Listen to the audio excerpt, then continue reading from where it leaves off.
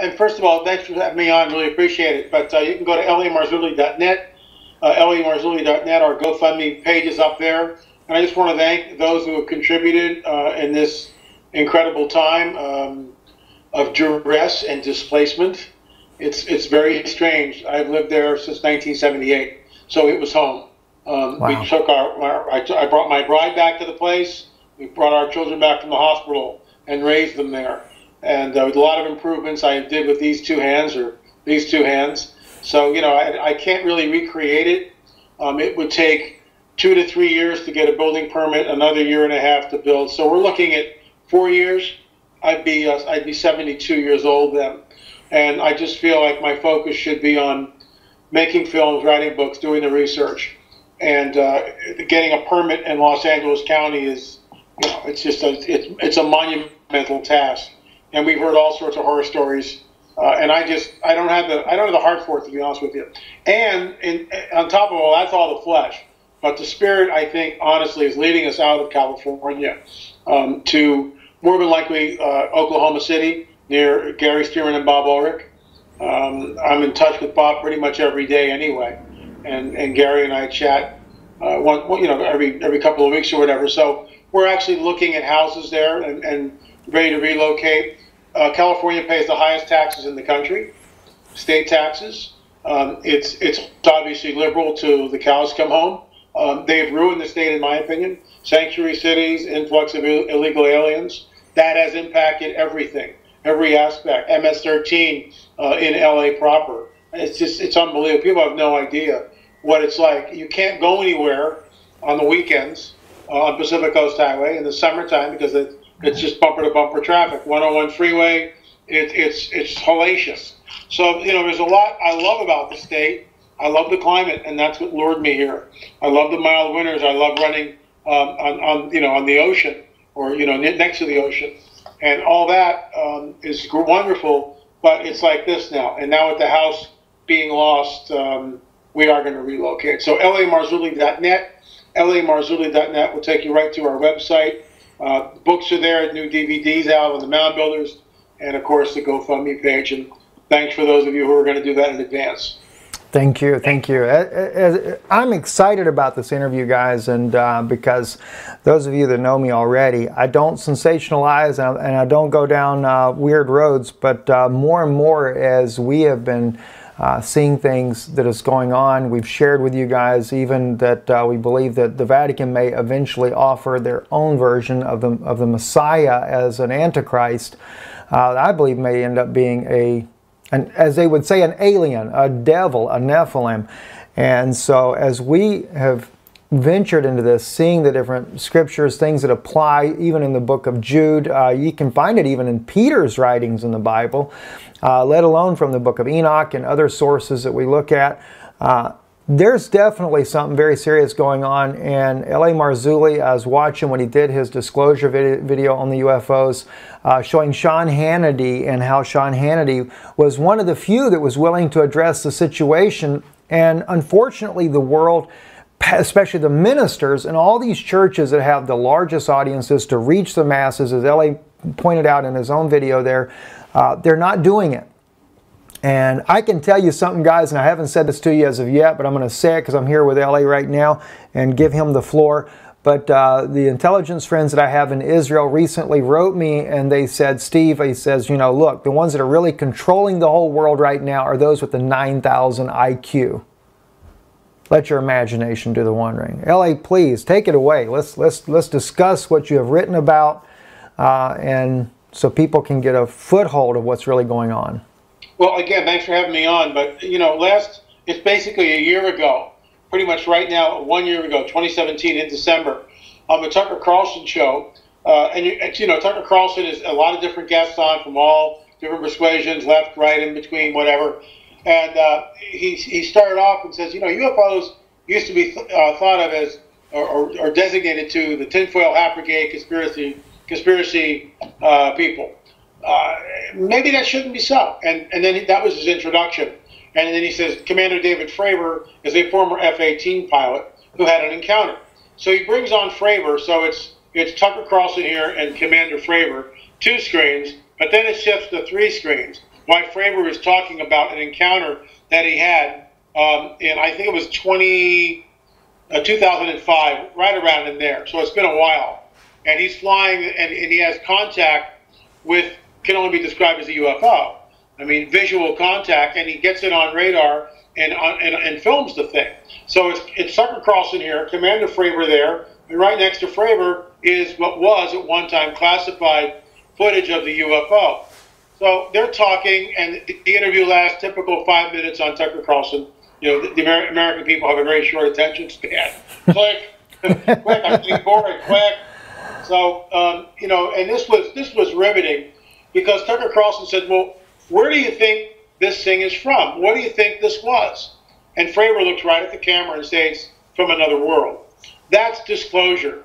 And and yes. what people don't realize is how does someone like Commander David Fravor wind up on Tucker Carlson's show in the first place? This guy doesn't have a book, doesn't have a blog, doesn't have a video to sell. I mean, he's essentially a non-entity. No one knows who Commander David Fravor is, with all due respect. They do now because he was on Tucker Carlson's show.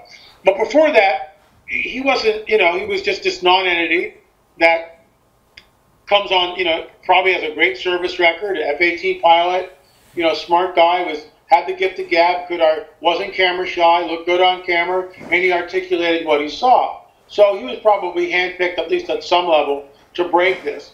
The question is, and I, and I drilled down into this in the book and also when I'm speaking publicly, who calls up the producers of Tucker Carlson and says, hey, we want this guy on Fox News prime time, because that's what Tucker is, prime time to talk about UFO disclosure. And I real I, I was just I was I was flabbergasted when I saw this. Speechless. I went, oh my gosh, talking to my wife, Peggy, this is disclosure. It just happened. It's not soft disclosure. This is disclosure.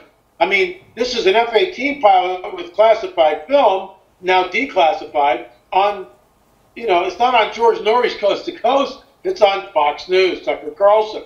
Mm. And uh, I figured my phone would blow up, my email would blow up, flatline. I had one email from a pastor, did you see this? So from that came the quote, the church, the modern church, has a morbid propensity toward ambivalence in regard to the UFO phenomenon. And frankly, it does.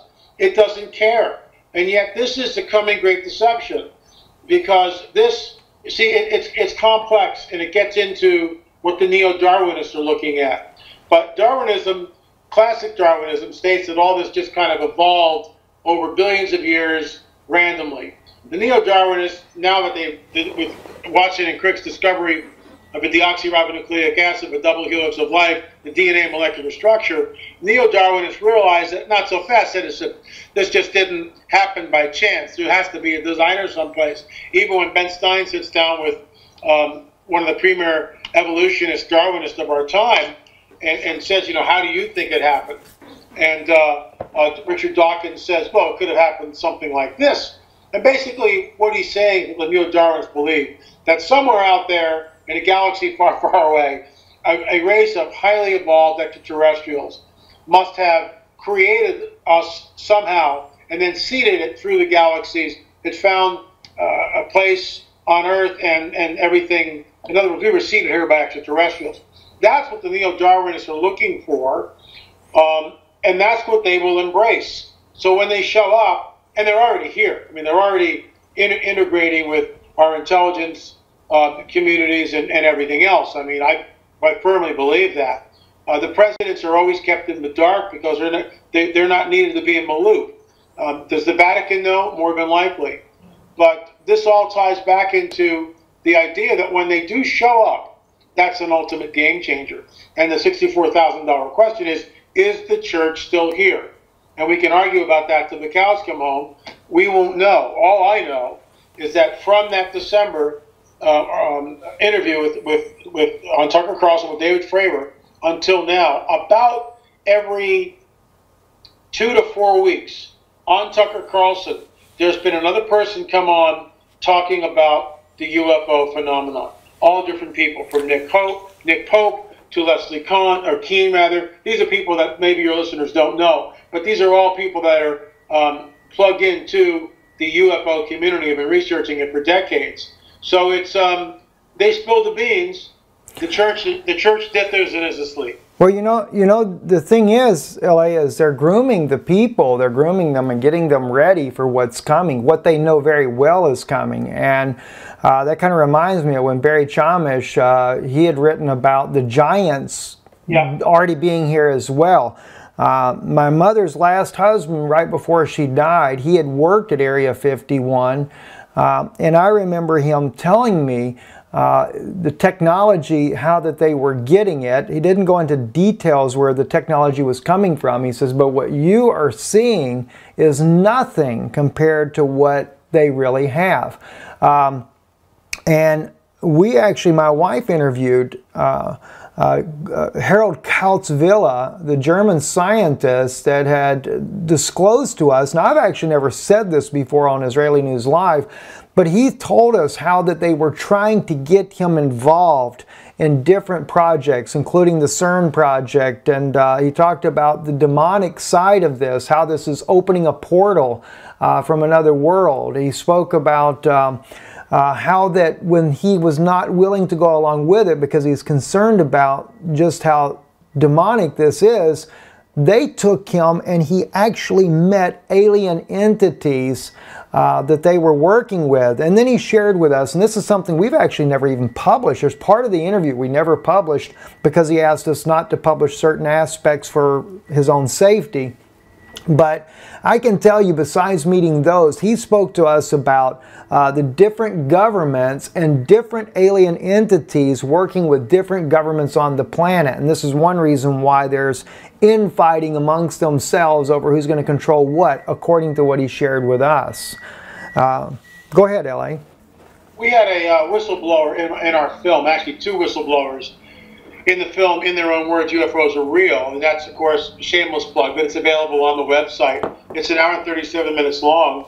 And everybody in the film is a born again, spirit filled Christian that, guess what, has had encounters of the first, second, third, and fourth kind. This man had been taken, was being groomed, high IQ, um, and was being groomed and um, by the brass. And one night he found himself after a, uh, a couple hours in a bar getting absolutely liquored up uh, with this, you know, high officer. I don't know the guy's rank, but they were out in the middle of nowhere, and all of a sudden these lights came on in the distance, and they, he found himself basically in an underground base. At which point he saw, and when he when he says this, uh, I have to blot out his face and disguise his voice because he, he, wants to keep it anonymous. He showed me his discharge papers. He showed me all of his uh, credentials that would, you know, and and and the he's not after money or notoriety or anything else, but he saw uh, the Greys. He saw what can only be described as the tall whites who were kind of running everything, and military servicemen were working side by side. Well, this just is another whistleblower like Bob Lazar in the 90s who came out talking about Area 51, stating exactly the same thing. There was another gentleman who came up to me, once again anonymous, anonymously at a conference, and stated that his friend, who was agency, part of the agency at one point, and uh, his son was, you know, he was retired.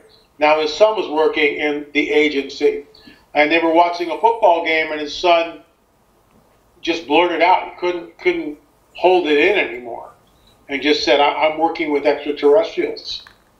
And so this father told my contact, who then told me. And in the film, I go, look, this is all secondhand information. I can't vet it. You be the judge. And, and so there's a caveat. I'm just not going with it and trying to be sensationalistic. I'm saying, this is what we've heard, and I'm reporting back to you. I think it's valid. There's no way to vet it. But um, here it is, and, and do with it what you will. So I included it in the film with that caveat, of course, uh, b- before we ran the interviews, which, in my opinion, it just it, it corroborates other stories that we've heard. So I, I, I believe that that this quid pro quo, giving a technology for access to the population, which happened right after the Roswell, the Eisenhower years, that whole thing, um, that it, it all look, it, it's coming down. It really is. And the fact that UFOs move with impunity over every city, every country on this planet should tell us exactly what's really going on here. That we our fastest planes can't can't match these things at all. And David Fravor said that. He said when the thing took off, when the UFO that he was witnessing had eye contact and he was flying less than a mile away from it, he said off. He said it shot off like like a bullet out of a gun. 50 miles, it was out of sight. That's that's clipping. That's clipping. And so that's what we've, we've heard this from Dennis in on, on the film in their own words, who's a former pilot who talked about the same thing. This this object came in from 50 miles away in a blink of an eye. It, it tracked his plane. They were flying from um, Lima, Peru to Mexico City. They were over the ocean, and the visibility was clear. They were above cloud at, at 50 miles, and this thing came in. It, it left these two huge beams. They could see windows in the craft, and then it shot away and, and left the scene again at, at, like, and 50 miles away, boom, gone in the twinkling of an eye. So it's we've had too many, way too many reports, and now that it's finally on Tucker Carlson, you would think that the church would begin to address it. Uh, unfortunately, for the most part, they're not, and they do it to their own peril, because what's coming, this is the coming great deception, and, and as I talked about earlier, it, the springboard to it is the Darwinian theory. There is no God, you were seeded here, neo Darwinists. There is no God, but we were created by a race of extraterrestrials. The Elohim are really extraterrestrials, which is what the New Ages have been saying for the last 30 years. So it's everything is, is pointed in that direction. Right. And then we get we get into Second Thessalonians where it says, because they did not believe the truth, God sends them strong delusion. What is the truth? That Yeshua spoke everything into existence, without him, nothing that was made was not made. So that is the truth. So we, they exchanged a lie for the truth, and Darwinism is the lie. That's exactly right. And you know the the odd thing is, a lot of when you're when you're saying this, one thing I think that might hit home for people as well is uh, a good friend of mine, Gary Lowry. He actually spoke. You know, he's, he shared with me a lot about being abducted by aliens. But the one thing that always stood out in his testimony was Gary said that when he was there, he said he was abducted more than once, but the first time he could never recall it. He said his daughter, actually, who was very small, could tell vividly details about these grays, these gray looking, hideous looking individuals that had taken them from their home. But the second time when he goes, the one thing that Gary said, he, he talked about being more than one type of being that was there, but he said they kept telling him, We are sorry for what we did, but we are your brothers. And Gary said the only thing you figure is that they're repenting to him for the uh, fallen angels cohabitating with the women on the earth. And uh, it, but he said he told them, "You're not my brother at all." And they said, "But we are. You have no idea." So there again, it's almost like when we read the book of Enoch, you can see they're constantly trying to repent. They go to Enoch, trying to get Enoch to intercede on their behalf, uh, you know, for their sons, the Nephilim that are born on the earth, but they can find no repentance. Uh, for their soul, you know, which to me is a little bit different than Cain and Abel because Cain, you know, he was told that if he did well, he would be received. But the Nephilim, zero LA. Zero. And then you see in the book of Jude the same thing. Jude, he what is it? He's talking about Nephilim, whether we want to face it or not, because he said these that crept in unaware, and where did they creep into? Into the church itself. He said they crept in unaware. These men who were uh, foreordained to this condemn, condemnation, which clearly goes back to the Nephilim, the lineage of the Nephilim. So Maybe that's one reason why LA we're not seeing this coming from pulpits and stuff. Maybe there's just too much infiltration. What's your thought? You know, there's always been infiltration in the church. I just think that that many pastors, unfortunately, um, are never trained in spiritual warfare. Many pastors have no idea uh, of Genesis 3:15, which, in my opinion, sets up the rest of the show. Without Genesis 3:15, um, an understanding of it, when you get to Genesis 6, you're clueless. When you get to Sodom, and, when you get to Tower of Babel and Nimrod, you don't understand what's going on there and why the judgment isn't the same, why, why it's slightly altered. Then when we get to Abraham and the five kings, what's going on with that? Finally, Sodom and Gomorrah. What's happening with, with all that? Um, Abraham is tapped out. From your seed will become the Messiah. We, we know that. Then when we finally get to the promised land, or when we get when, when, when Yeshua, and of course I believe it's the pre-incarnate Christ, Messiah, um, when he says when the anointed one tells Abraham, hey, you're going to be a great nation, and from you all the nations of the earth will be blessed. But you're going to go down to Egypt for 400 years until the sin of the Amorites comes into its fullness. What? What are we looking at there? And of course, what we realize is the Amorites are a Nephilim tribe. And, and this is what people don't, and this is exactly the scripture that Richard Dawkins points to, that the God of the Old Testament is a genocidal, homicidal, maniacal, crazed individual that calls for the slaughter of men, women, and children. And he's right, unless you plug in the Nephilim, because what's in the promised land are Nephilim tribes. And I wrote about this in the Cosmic Chess Match. It's move, counter move, move, counter move. There's a reason why they're there. They know that Father, you know, Jehovah wants that, he wants that land. They know that. So they position their forces. I mean, it's strategy. We're in a cosmic war, a cosmic chess match. And so what's the mandate? Go out and slay them all, men, women, children, animals, everything, because everything is corrupted. The seed is corrupted. And what's amazing is at Jericho, when the walls go down, and remember, the Israelites aren't doing squat except blowing trumpets, blowing, blowing the shofar. They're not doing anything.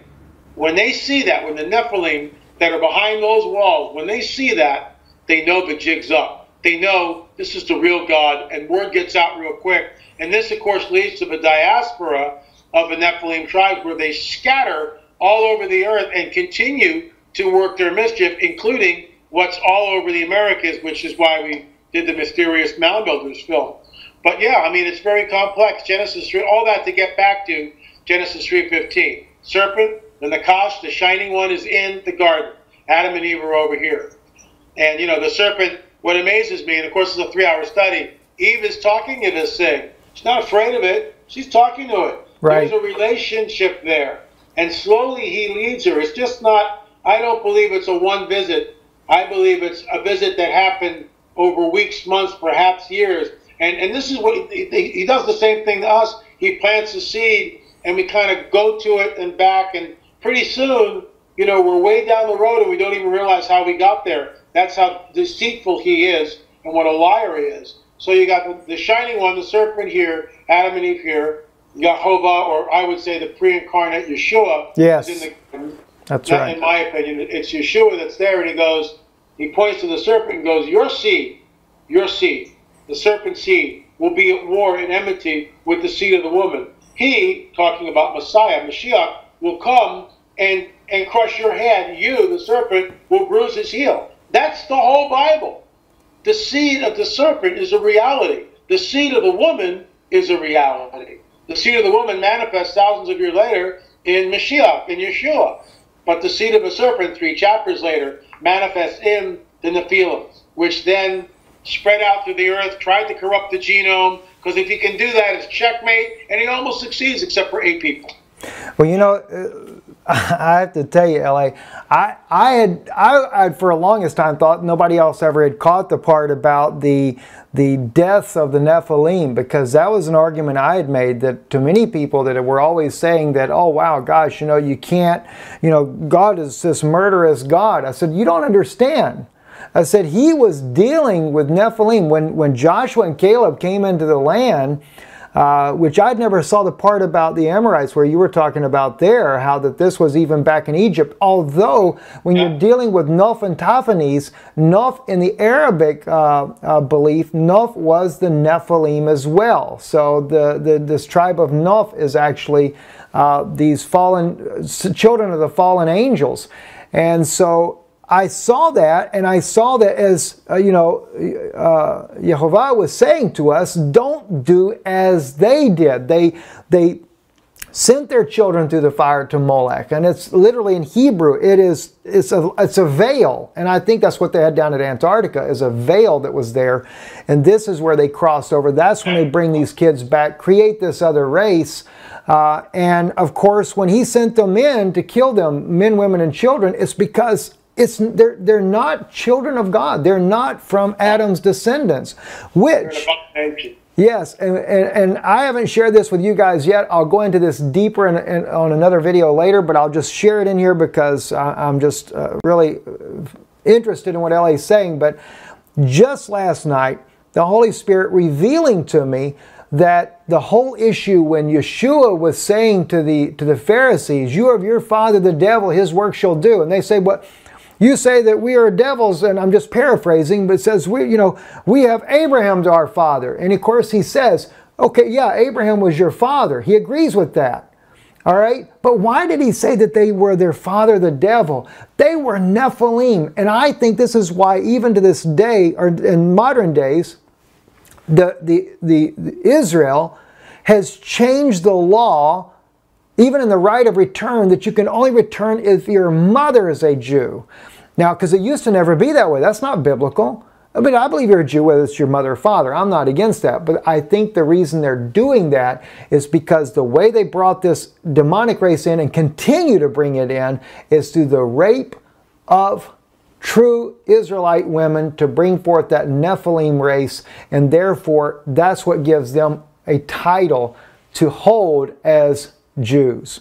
So, anyway, LA, that's a bombshell. So, we'll see how, how well I do with that. Continue on. Continue on.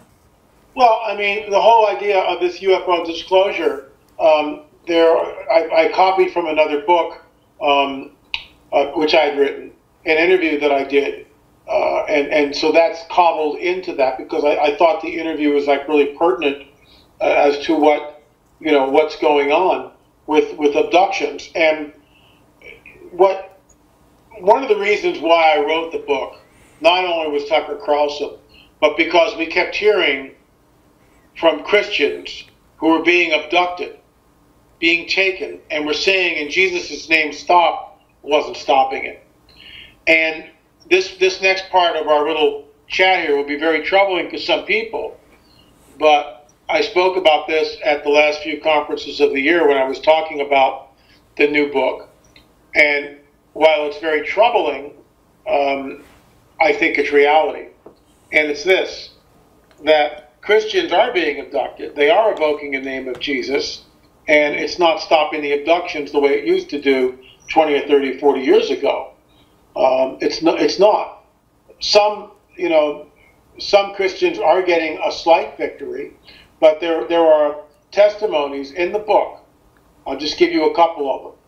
Uh, a woman is riding in a car with a friend. They're both Christians. Suddenly there's a flash of light. That's all she remembers.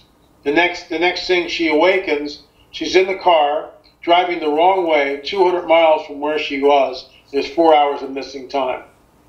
Four wow. hours of missing mm. time. An elder in a church goes to bed at night. All of a sudden, he realizes he's, he's paralyzed. He's being pulled off the bed. The exterior wall of the house is like six feet away from the bed. He's now floating over the over the floor next to the wall. He knows he's going to get sucked out through the wall. He knows you can't do that, but that's what's going to happen because these entities can manipulate space, time, matter, and energy in ways that defy our physics. He finally is able to choke out Jesus' help, and boom, it comes back. He's like a rubber band, so he breaks it. But but he calls me the next day, and I, I grow this guy. You're not off in the bushes. He's not watching porn. He's not having an adulterous affair. I mean, he's, he's a straight shooter. He's an elder in the church. And he's deeply troubled. Why is this happening to me? A woman who has been taken all of her life, all of her life, has been a Christian, talks about uh, her entire family when she was a little girl and her neighbor's family being marched out by the Greys to a ship in a field across the street. And now she's much older. She's got children of her own, and the children are being abducted. How does that work? And she's a Christian and she'll say, In the name of Jesus, stop. And they just look at her. And the reason why I think it's going on, this is conjecture on my part, but we are in a, you mentioned Moloch earlier, and I think that was serendipitous on your part, or I should say, leading from the Holy Spirit is more like it. But we read in, in you know in the Tanakh the sacrificing of the children to Moloch and, Chemosh and all, all this stuff, and we're, we're, we recoil at that and say, surely you know, these people, how could they possibly do something? In, in the modern world, we are living in a time which is completely unprecedented. And that's because since Roe v. Wade, there are now 1 billion with a B. 1 billion. So people in America, there's 300 million.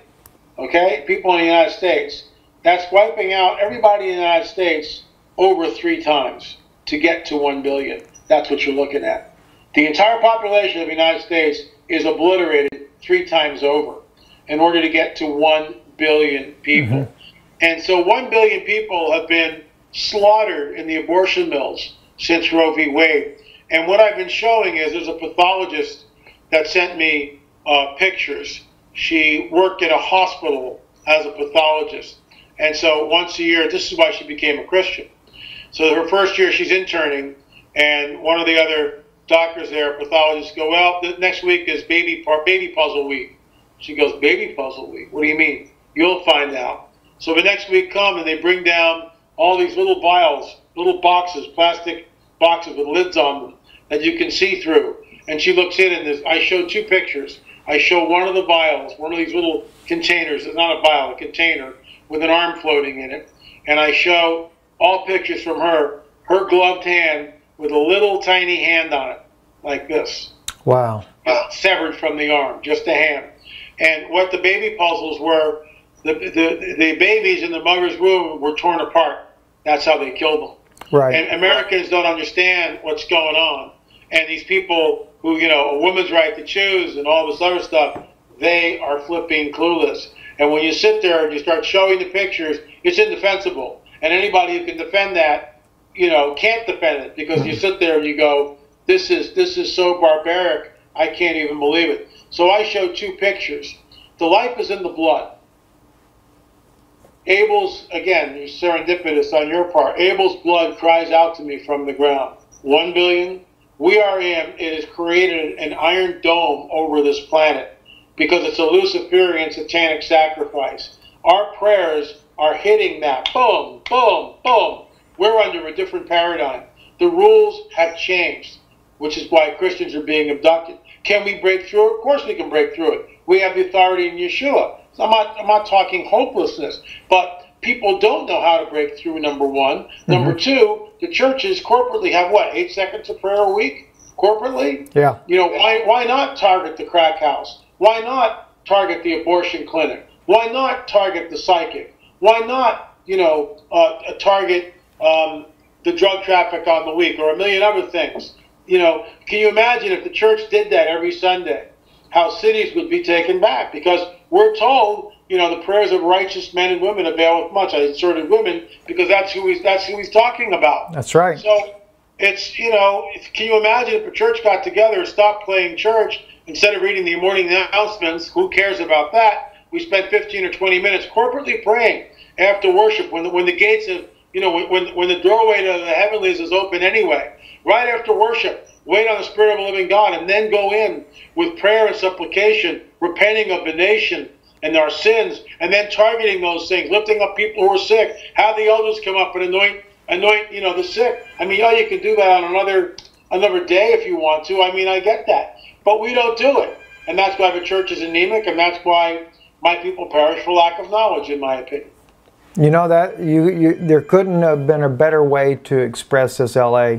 Um, because this is where this is where the problem is. We have gone away completely uh, from prayer life, and this is why the church is in such a tremendous shape that it is. And as you mentioned, the the, the babies that are being murdered, even Israel. Think of this. Is, I mean, I've always said to people, I shouldn't say always, I used to be more pro Zionist, unfortunately, but by the grace of God, He opened my eyes, uh, you know, that if you're going to stand with Israel, stand with those that are believing in Yeshua in Israel because they're the ones that are persecuted like it was 2,000 years ago.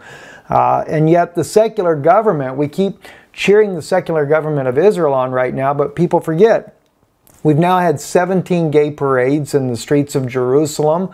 Uh, we have changed the abortion law in Israel to, to match that of the Talmud, which is, allows the, the abortion of a nine month child in the womb up to the last day. You know, it, rem it, it reminds me, LA, of even during the Holocaust, you know, the biggest perpetrator of the death of our own people were the elite Zionist Jews that were going to create the state when they said, uh, it was it was Weizmann at the Kastner trial states Well, we had to turn a deaf ear because we needed human sacrifices in order to stay at the table when they divide the rest of the world up. I mean, this is the demonic side of what's going on. And uh, the government of Israel, although there may be some decent people in there, we're just as secular. We're doing no different than the United States government is doing, uh, you know, slaughtering these kids. And it kind of goes back, LA, to the vision that I had, and, I don't, I don't know if I've ever even shared this with. I think maybe I did share one part of this one time. You know, I seen this being that would change from a human to look like a lizard, and then they were abducting children, and they would take them to this room, and they didn't show me it happening, but they were. I knew for some reason I knew by an understanding they were devouring these children, yeah. eating them. And then we wonder about all the, you know, besides the abortion, which I've always, I felt like the abortion when it came in back in the, uh, what was it, late 60s or something like that when they made it legalized, this was a type of the same thing with in the days of Moses, in the days of Yeshua, when they when the when the government went after the children, trying to stop the anointed from coming forth, the word from coming forth. It's the same thing today. The system is set up like it was all those years ago. They're trying to kill and stop the anointed from coming forth so that they can have their own demonic race, I suppose. So, at any rate, LA, I know your time is, is precious and I don't want to hold you too much longer, but uh, if you can say some closing comments or if you got more to say, we'll continue on. You just let me know. Well, I mean, there's, there's a whole chapter in the book on, on cattle mutilations from Chuck Zukowski. It's a Q&A, and Chuck's been doing this for, for decades he's sort of the go-to guy. Uh, Linda Moulton another one that, that put it on the map. But, you know, Chuck's in the field, and, and that's why I chose him. And he was gracious enough to uh, discuss it uh, openly and, and write about it. This has been going on for decades. Cattle are taken, they are mutilated. Uh, um, sex organs are cored out. Ovum is taken. Um, eyeballs are, are, taken out, excised with surgical precision. It is a strange harvest, to use Linda Moulton Howe words. And it's ongoing and it continues even today. Something is going on and it's not good.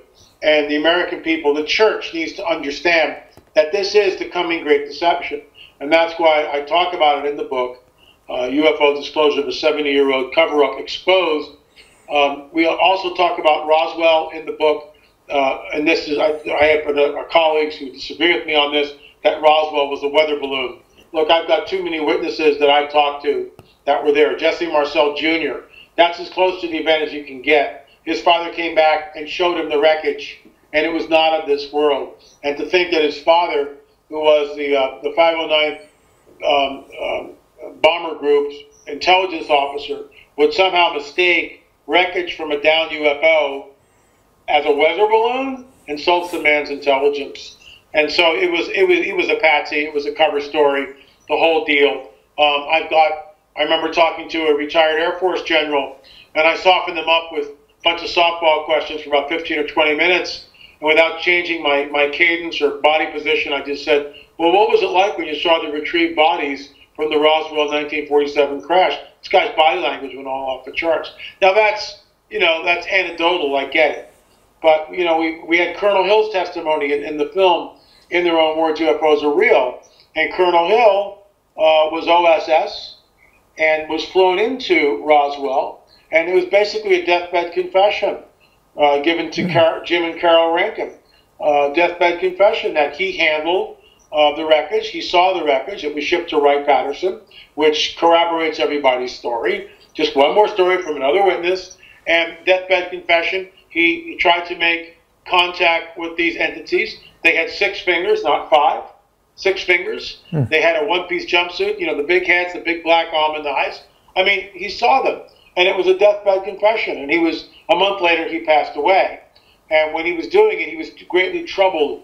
When Carolyn and Jim talk about it, he's like, when they asked him, he kind of hung his head like this and let out a deep sigh and sort of committed himself to finally wipe the slate clean. And so he went on the record, and they came on the record. So look, in my opinion, Roswell was a real deal.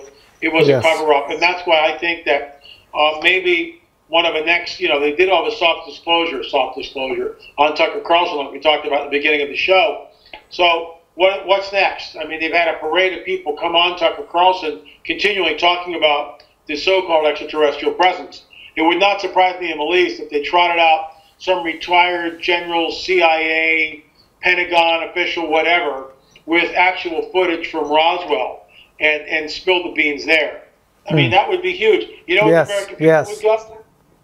It'd be, it'd be like this, flatline. Flatline, The that's right. community would be jumping up and down. Most people could care less. And the reason for this is we are so anesthetized with Star Wars, with Star Trek, and, and you know, every every other sci-fi movie that when the real thing actually happens, we're desensitized to it. It's not like it was in the 30s with Orson Welles.